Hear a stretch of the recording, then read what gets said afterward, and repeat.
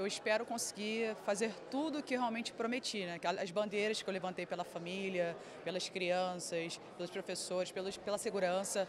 Eu sei que vai ser difícil porque eu já falei várias vezes, eu não sou política, eu estou exercendo o cargo. Eu sou professora, eu sou uma empresária, sou esposa, sou filha, mas o coração ele é puro, o caráter ele é íntegro e eu vou estar lá na LERJ os quatro anos querendo trabalhar, fazer a diferença mesmo.